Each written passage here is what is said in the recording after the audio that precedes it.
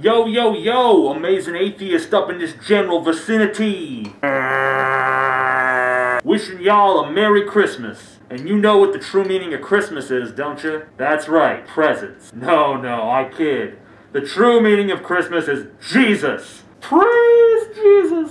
And you know, it occurs to me, with the popularity of the Da Vinci Code and the Jesus Papers and all of these crazy atheist authors running around claiming that Jesus never existed, it seems to me that there is a big market for revisionist history when it comes to Jesus. So I was up all night trying to think of some kooky claim I could make about Jesus that would get people interested and make them say, hey, maybe that guy's got a point. point, and I think I came up with something. In fact, I think I uncovered the greatest cover up, the greatest conspiracy of all time. Ladies and gentlemen, what I'm about to say will shock you. It will horrify you. It will shake you to the core. It will shatter the very foundations of your cherished beliefs. Ladies and gentlemen, Jesus and Aquaman are the same. Think about it! Jesus' birth ushered in the age of Aquarius. Aquarius, Aquaman. Coincidence? There are no coincidences. Jesus' symbol is the fish. You've seen it on cars from one side of this continent to the other. What would God need with a fish? This is not the Son of God. This is the King of Atlantis. This is Aquaman. Look at Jesus' miracles. They all involved water. Walking on water, turning water into wine,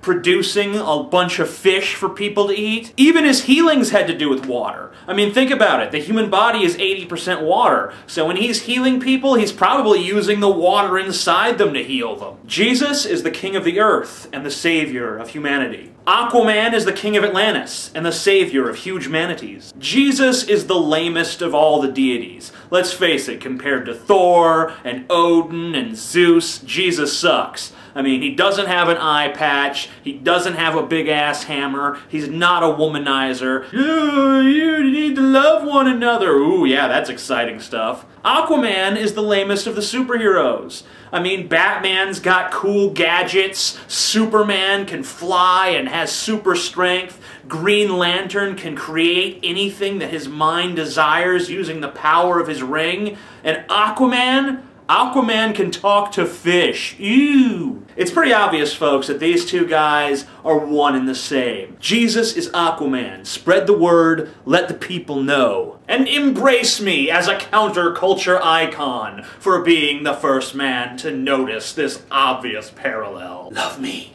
Love me with your favorites.